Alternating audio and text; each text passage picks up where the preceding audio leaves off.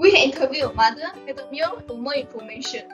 My children feel frightened at night and they don't want to go to the bed themselves. They always need me to accompany them until they feel sleep. In modern society, many people are afraid of dark, especially children.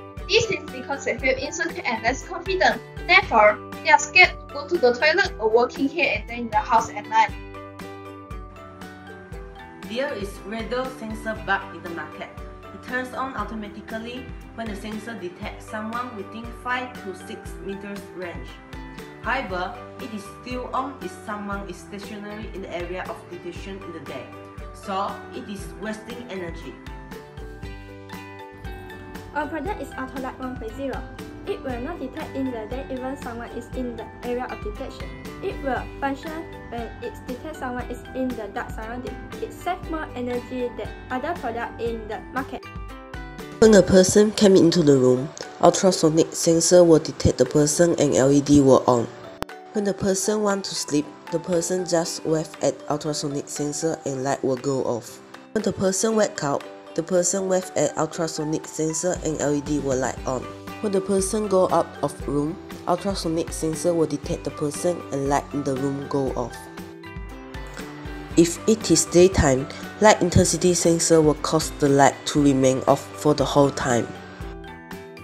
Your product is useful. Your product helps my children feel safer in the dark. Your product helps me a lot. I don't have to search for the light switch anymore. Our product gives benefits to all the customers. We expect this product can help the customer to feel more safe in the dark.